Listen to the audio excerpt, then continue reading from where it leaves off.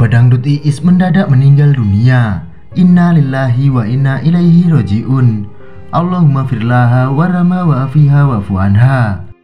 Ucapan bela sungkawa tak henti-hentinya terucap dari berbagai pihak keluarga dan juga sahabatnya. Dan sungguh tak menyangka jika hari itu adalah hari terakhirnya.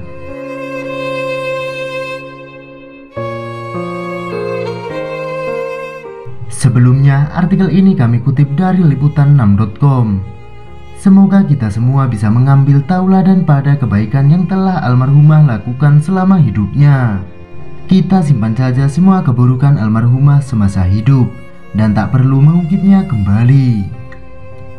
Kematian seseorang bisa datang kapan saja meskipun dalam keadaan yang tengah berbahagia, seperti yang dialami oleh pedangdut Iis yang satu ini.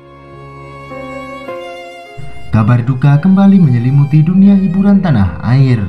Artis penyanyi dangdut era 80-an ditemukan meninggal dunia usai terjebur ke dalam sumur dengan kedalaman 16 meter di Subang, Jawa Barat pada hari Kamis.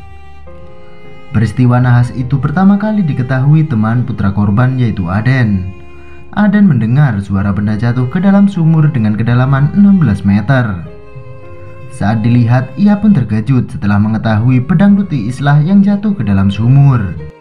Pedangdut senior yang kami maksud ini adalah Iis Komariah.